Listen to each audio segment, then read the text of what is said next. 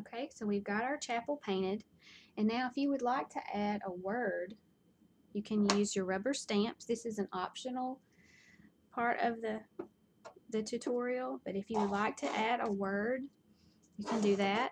Um, I chose the word gather. So I have all of my stamps here.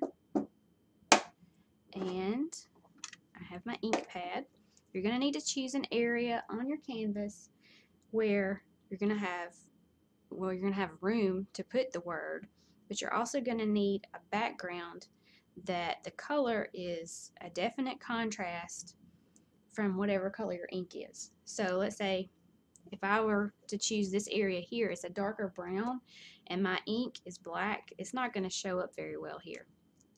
So sometimes you might need to choose an area and just go back in and lighten it up so that you know you're going to be able to see the words that the letters in your word that you add.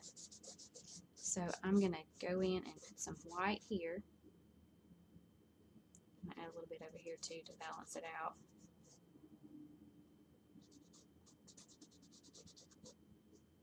Okay.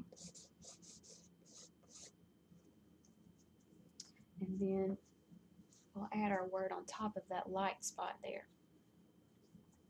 And I think I'm going to go down this way instead of trying to go across this way. So we need to let that dry a little bit. And I normally pick up my canvas and put my hand behind it so that I can feel where I'm placing my stamp. Okay.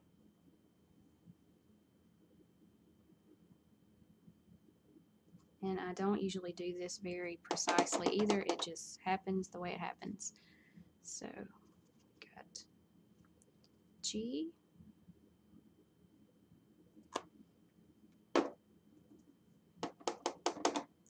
A. See this black area here where the stamp got on there? We can go back over that with some paint later if we want to. Or you can leave it there just for character.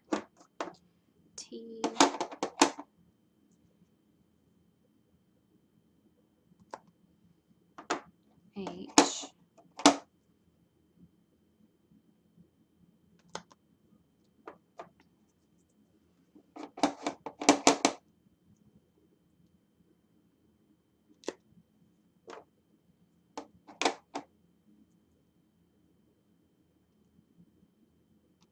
And if you totally mess it up, okay.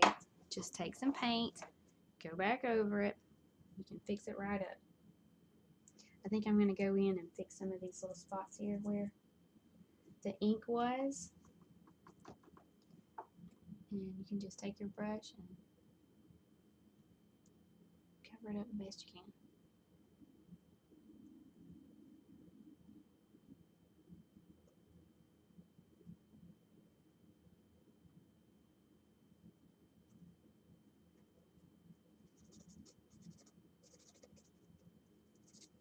Okay.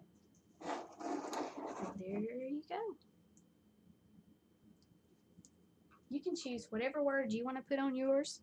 I would just love to see it though. Um, once you finish your creations, you can share them with me on Facebook. You can share them with me on Instagram.